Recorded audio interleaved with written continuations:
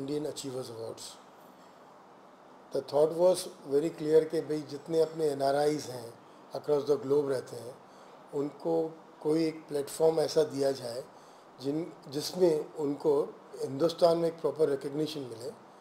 ये सोच डेफिनेटली पूनम जी की थी। मैंने सिर्फ़ उस प्रोसेस को आगे इनिशिएट किया है। और ईश्वर की कृपा से डेफिनेटली ये प्रोग्राम एक अच्छे स्तर पर गया। हमने फ़ंक्शन किया था एंड ऑफ़ जुलाई में जो कलर्स पे टेलीवाइज हुआ सत्रह अगस्त को। रिस्पांस बहुत अच्छा रहा और उम्मीद करता हूँ आने वाले दिनों में आने वाले सालों में ये प्रोग्राम या ये जो एक हमने एक अवार्ड फ़ंक्शन का एक वर्चस्व उठाया है ये काफ़ी एक अपने अपने जगह सक्षम रूप से एक बड़े कीर्तिमान की तरफ़ पहुँचे। इस, इस सामना करना पड़ता है हर परमिशन लेना पड़ती है कितनी इजीली और कितनी आसानी से किया आपने क्या क्या क्या क्या मुश्किलों का सामना करना पड़ा आपको? दोस्तों, दोस्त इजी आज कुछ भी नहीं है। हिंदुस्तान में मैं ये बोलूँ, अगर कुछ चीज़ सिंप्लीफाई हो रही है तो नहीं हो रही है। डेफिनेटली हर चीज़ में मुश्किलें हैं।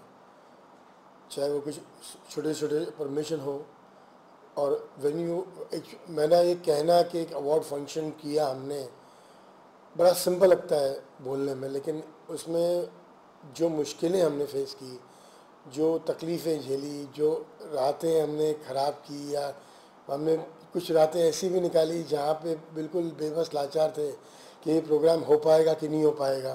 काफ़ी कुछ मुश्किल, मुश्किलें आई, काफ़ी कुछ दौर ऐसे गुजरे जहाँ पे इवन पूनम जी को बीच में लगा कि नहीं भाई आई थिंक अपने को कहीं एक बार विड्रॉ कर लेना चाहिए।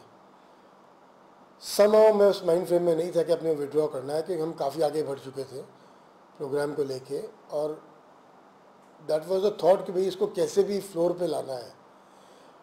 करीब करीब दस महीने लगे इस प्रोजेक्ट को फ्लोर पे आने में। मेरे लिए ये बोलना आज बहुत आसान लगता है कि एक प्रोग्राम हमने कर दिया। ना, बहुत मुश्किल था।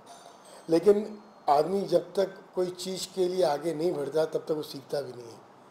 जैसे पोइट्री थी, जब मैं बच्चा था या मैं जब स्टूडेंट था स्कूल के दिनों में चीटी चीटी के ऊपर एक पोइट्री थी। नन्ही चीटी जब दाना लेकर चढ़ती है, चढ़ती दीवारों पे से सौ बार फिसलती है, चढ़कर गिरना गिर कर चढ़ना, ना उसका खरता है। कोशिश करने वालों की हार नहीं होती। दैट वॉज़ द टाइटल बस वही एक थॉट लेके हम भी आगे बढ़े कि चलो, कोशिश करनी है। बिल्कुल कोशिश की और सफल हुए। पर्सनली किस तरह का रिस्पांस मिला आपको? क्योंकि जिस दिन कल टेलीकास्ट हुआ दिन कल आपके लिए बहुत बड़ा रिस्पांस हुआ। ज़बरदस्त रिस्पांस रहा। इवन कुछ लोग भाई मैंने अनफॉर्चुनेटली मैं बॉलीवुड से जुड़ा हुआ आदमी नहीं हूँ। मेरा अपना एक छोटा सा आशियाना है छोटा सा बिज़नेस है। तो उस हिसाब से जिन जिस सर्कल में मैं उठता बैठता हूँ और जब उनको इस चीज़ का पता चला इवन देवर सरप्राइज्ड कि यार how can a man from this industry get into some other industry but उनका रिस्पॉन्स पॉजिटिव था कि भाई एक अच्छा प्रयास था एक अच्छी सी एस आर एक्टिविटी थी और एक फील फैक्टर था कि जो लोग जिनके बारे में खाली हम सु, सुनते भी नहीं हिंदुस्तान में हमने जिन लोगों को जिन चेहरों को हमने इनवाइट किया चाहे वो यूएसए से किया, कि यूके से किया, कि सिंगापुर से किया यूएई से किया, उन शहरों को अपने देश में कोई जानता भी नहीं था।